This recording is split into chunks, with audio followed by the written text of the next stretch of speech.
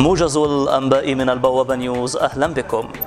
أكد الممثل التجاري الروسي في مصر نيكولاي أسلانوف اليوم أن الحدث الأهم في التعاون الاقتصادي المصري الروسي هو توقيع عقد لتوريد 1300 عربة قطار لمصر بقيمة مليار يورو.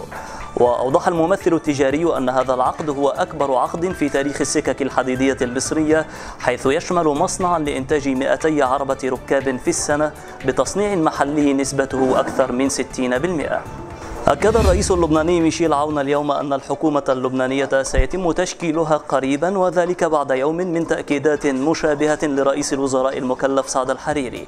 الذي قال إن المعيار الوحيد الذي يعتمده في تشكيل الحكومة هو أنها حكومة وفاق وطني.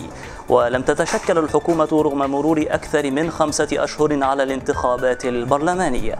دافع الرئيس الأمريكي دونالد ترامب عن المملكة العربية السعودية وانتقد التسرع بإدانتها في قضية اختفاء الصحفي السعودي جمال خاشقجي. وحذر ترامب في مقابلة مع وكالة الأنباء الأمريكية اسوشيتد بريس من الاندفاع إلى الحكم بإدانة المملكة العربية السعودية متبنيا موقف الرياض المطالب بضرورة الصبر حتى انتهاء التحقيقات الشفافة والعادلة. ورياضيا. ذكر موقع دون بالو أن محمد صلاح الذي قدم موسما رائعا مع ليفربول سيكون نادي برشلونة الإسباني محطته المقبلة. من جانبها أكدت إدارة برشلونة أن صلاح بديلا مناسبا للفرنسي عثمان ديمبلي وستبلغ قيمة الصفقة 150 مليون يورو حسب ما ذكر الموقع.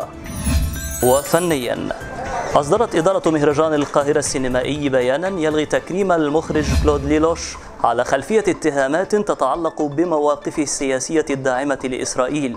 ويؤكد المهرجان على التزامه بدوره الفني والثقافي والسياسي في دعم القضايا الوطنية والانحياز لأصحاب الحق في كل مكان بالعالم.